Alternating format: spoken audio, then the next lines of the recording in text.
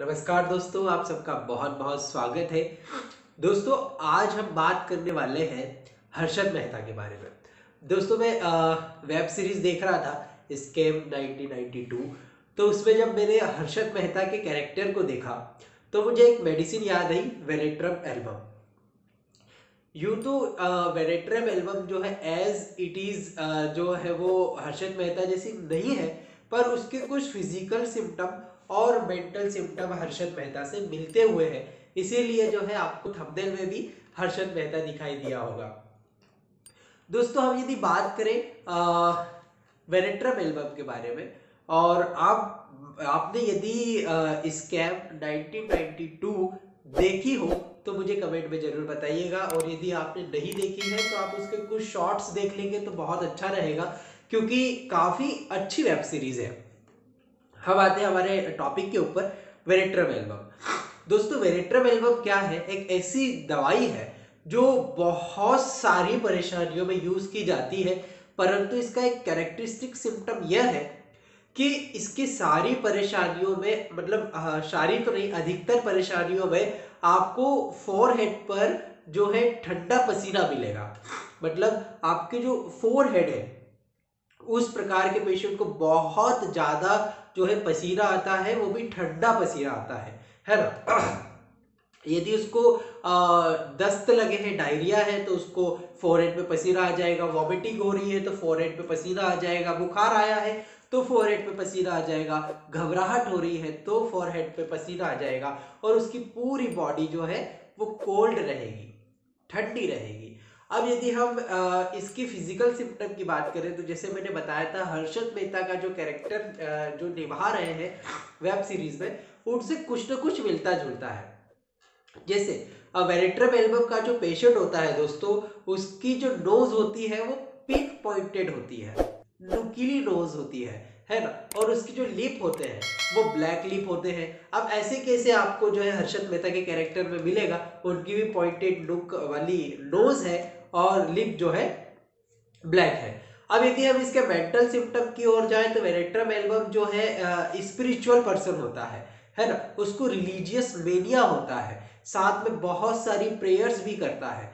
परंतु उसको डर होता है कि उसकी जो पोजीशन बनी हुई है सोसाइटी में वो गिर ना जाए है ना? इसी के साथ में इसकी एक बहुत ही आ, खास बात है जो एक यदि आपने वो वेब सीरीज़ देखी हो तो आपको याद आएगा कि जो वेल्ट्रम एल्बम होता है, वो अपनी कही हुई बात को मतलब अपनी जो बात है वो किसी अदर पर्सन से जब करता है और जब दूसरा पर्सन उसको नेग्लेक्ट कर देता है है ना, उसको नकार देता है तो वेरेक्टर एल्बम अपनी खुद की बात को जो है, वो बोलता है, मैं तो मज़ाक कर रहा था। है ना? मतलब कि यदि ऐसा पर्सन जो अपनी बात को सीधे डायरेक्टली किसी अदर पर्सन से कहता है और यदि सामने वाला पर्सन उसको नकार देता है तो वो जो वेरेक्टर एल्बम पेशेंट होता है, वो खुद ही बोलता है कि अरे मैं तो मज़ाक कर रहा था। है ना? मतलब कि इस टाइप की उसकी पर्सनालिटी होती है कि अपनी ही बातों को वो काटने लगता है। इसके साथ में दोस्तों जैसे मैंने आपको बताया कि कोल्ड स्वेट इसकी सारी चीज़ों में देखने को मिलेगा। यदि मैं फीमेल्स की बात करूँ तो उनमें डिसमेनोरिया के लिए बहुत अच्छी दवाई है। डिसमेनोरिया में भी यदि आपको पसीना आ रहा है फोरहेड पे, काफ़ी अच्छी दवाई ये साबित हो सकती है।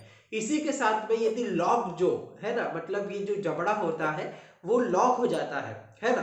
तो उस कंडीशन में भी ये वेरेट्रम एल्बम काफ़ी अच्छा काम करती है। साथ ही दोस्तों, इसके काफ़ी सारे सिम्टम है। इसी के साथ एक सिम्टम ये आता है दोस्तों टॉकिंग अबाउट अदर्स फॉल्ट है ना? मतलब दूसरों के फॉल्ट के बारे में ही बात करते रहते हैं। इस टाइप के पेशेंट इसी टाइप के होते हैं कि दूसरे के जो फॉल्ट होते हैं उसी के बारे में बात करना उनको काफ़ी पसंद होता है। साथ ही ये जो पेशेंट होते हैं काफ़ी सुपर माइंडेड होते हैं है ना? बहुत ज़्यादा दिमाग होता है है ना? हम बोल सकते हैं इसकी टोपी उसके सर करने वाले है ना? जैसे हर्षद मेहता ऐसा ही करता था। तो मतलब अपनी अप, अपना काम बनाने के लिए सारे लोगों का यूज़ कर लेते हैं और साथ में जो है आ, आ, उन लोगों को आ, जो है काफ़ी फियर होता है। फियर किसका होता है? गॉड का फियर होता है। उनको फियर जैसे मैंने बताया सोसाइटी में पोजीशन का भी फियर होता है। साथ में इनको इमेजिनरी डिज़ीज़ की प्रॉब्लम होती है। है ना? जैसे स्पेशली यदि हम फीमेल्स की बात करें वेरेट्रम एल्बम की तो वेरेट्रम एल्बम की जो फीमेल्स होती है दोस्तों वो इमेजिनरी प्रेगनेंसी जो है, वो सोचने लग जाती है। है ना? मतलब फीमेल्स जो है, ये खुद ही इमेजिन करने लग जाती है कि मैं प्रेग्नेंट हूँ और कुछ समय बाद मुझे बेबी होने वाला है। तो इस प्रकार की मेंटल इलनेस यदि किसी फीमेल को है तो निश्चित रूप से वेरेट्रम एल्बम के कुछ ही डोज से वो ठीक हो सकती है। अब यदि हम इमेजिनरी डिज़ीज़ की ही बात कर रहे हैं तो इसमें एक सिम्टम ये आता है कि इमेजिनरी इंसेनिटी मतलब कि व्यक्ति खुद ही सोचने लग जाएगा इमेजिन करने लग जाएगा कि मैं तो पागल हूँ। इस प्रकार की यदि किसी को मेंटल टेंडेंसी बनी हुई है तो वेरेट्रम एल्बम काफ़ी अच्छी दवाई साबित हो सकती है। दोस्तों, जैसे कि मैंने आपको बताया था कि इसके हेड के सिम्टम में जो है कोल्ड स्वेट इसको बना रहता है, ठंडा पसीना आता है और इसका जो हेडेक होता है, वो वर्टेक्स का हेडेक होता है। ऑक्सीपिटल वाले रीजन में इसको हेडेक होता है और ऐसा सेंसेशन होता है जैसे जो बर्फ़ है है ना? बर्फ़ का एक बॉल एक मतलब आइस क्यूब जो है उसके वर्टेक्स में रख दी गई हो। इतना ठंडा सेंसेशन उसको महसूस होता है हेडेक में। अब यदि इसके क्रेविंग्स की बात करें तो इसको जो है एसिड और कोल्ड जो ड्रिंक होती है, काफ़ी अच्छी लगती है। एक एक डॉक्टर से मैं मिला था जिन्होंने वेरिट्रम एल्बम के बारे में मुझे बताया था।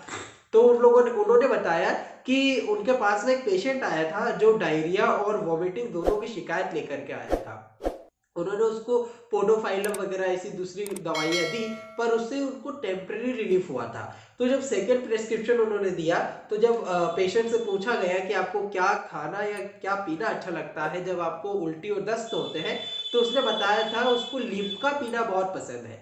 है ना? तो लिमका पीना मतलब एसिड एसिड वाली जो चीज़ होती है, और ठंडी और एसिड वाली चीज़ है, उसको पीना बहुत अच्छा लगता है। तो उसको वेरेट्रम एल्बम कुछ डोज दिए गए, जिससे उसकी परेशानी जड़ से खत्म हो गई।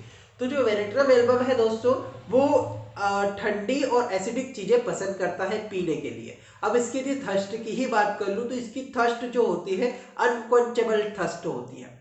मतलब कभी न बुझने वाली प्यास होती है, बहुत ज़्यादा प्यास लगती है और बहुत ज़्यादा ठंडा पानी पीना वेरेट्रम एल्बम को पसंद होता है। दोस्तों, ये काफ़ी शॉर्ट में मैंने वेरेट्रम एल्बम को आपको बताने की कोशिश की है। दोस्तों, आशा करता हूँ आपको समझ में आया होगा और यदि नहीं आया है तो इस वीडियो को फिर से एक बार देख लीजिए और हर्षद मेहता के कैरेक्टर को ज़रूर देखिएगा ताकि आपको और भी अधिक जानकारी वेरेक्टर एल्बम के बारे में मिल सके। दोस्तों, यदि वीडियो अच्छा लगा हो तो इसको लाइक कीजिए शेयर कीजिए। यदि आप फेसबुक के माध्यम से मुझे देख रहे हैं तो फेसबुक पर हमें फॉलो कीजिए।